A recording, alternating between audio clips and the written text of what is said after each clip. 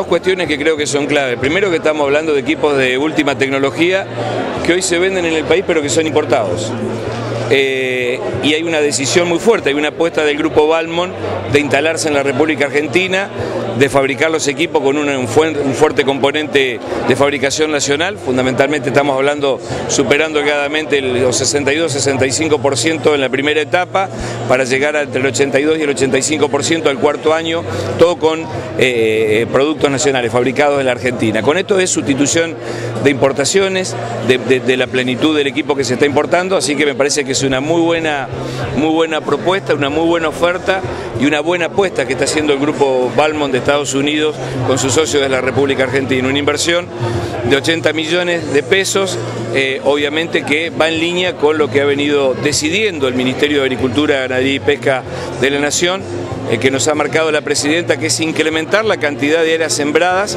Muchas de esas nuevas áreas sembradas tienen que ver con la posibilidad de tener equipos de riego presurizado, sistematizado, o sea, o por pivot o lineales, en este, como en este caso, o equipos que tengan que ver con riego por goteo este, o, riego por manga. Entonces, indudablemente este para nosotros es un paso muy, muy grande, muy importante para el país eh, y fundamentalmente si en agosto, ya en muy corto plazo, en menos de un año, vamos a estar inaugurando la planta ya con, con, equipos este, fabricados en la República Argentina. No deja de ser un orgullo volver a fabricar equipos en la República Argentina y también obviamente el agradecimiento a Balmond de Estados Unidos en creer que la Argentina es un país de oportunidades y que ellos realmente pueden hacer un aporte importante este, para, la agricultura, eh, para la agricultura argentina. Así que realmente muy contentos, contentos también de que se instalen en General Rodríguez, que generen muchos puestos de trabajo, que generen mano de obra en todo el proceso de construcción y después a lo largo y a lo ancho del país en lo que van a ser las instalaciones de todos estos equipos. Así que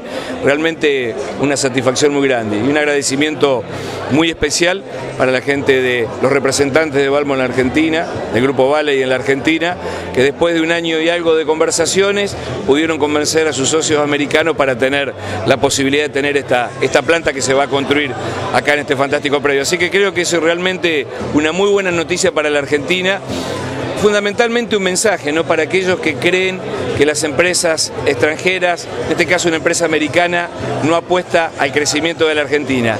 Cuando se hace esta apuesta es porque realmente se está teniendo la visión de que esta es una Argentina que es un país que va para adelante y que tiene muchísimo todavía para crecer. Eh, nadie viene a hacer beneficencia. Se hacen buenos negocios en países donde obviamente todas las oportunidades están al alcance de la mano. Así que realmente un día muy, muy bueno y muy importante para la agricultura argentina. ¿Cómo ve el uso del riego en la Argentina? Creo que todo esto es lo que tenemos que hacer. Nosotros hablábamos de una etapa de remediación del Estado a pasar un salto de calidad.